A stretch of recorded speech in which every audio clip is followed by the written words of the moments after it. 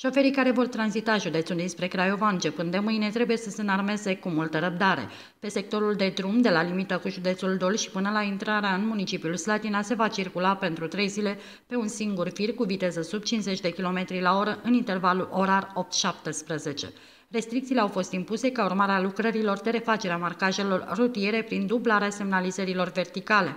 Potrivit șefului secției Olta drumurilor naționale, joi și vineri se vor face marcajele în afara Balșului, urmând ca pe raza orașului lucrările să se realizeze în cursul zilei de sâmbătă.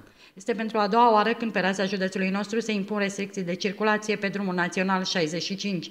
Ultimele au fost impuse de lucrările de înlocuire a covorului asfaltic pe podul Olt.